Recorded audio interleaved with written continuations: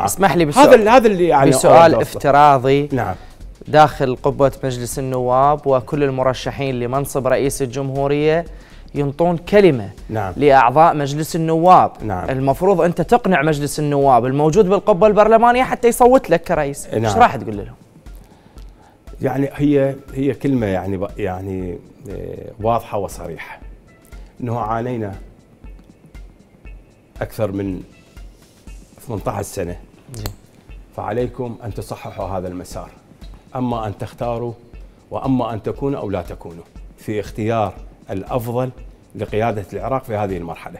لأن الموضوع أصبح لا يحتمل ومن هذا المنطلق أنه تخلون الشعب في حدقات أعينكم حتى يستطيع الشعب أن يساعدكم في النهوض والتطور خدمة للعراق العظيم. هل ترى بنفسك الأفضل كمرشح لمنصب رئيس الجمهورية؟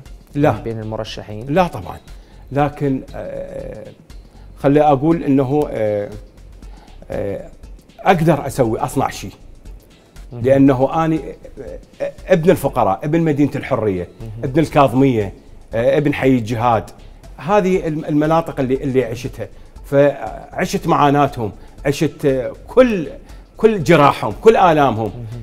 من هذا المنطلق أقدر أصنع شيء. طيب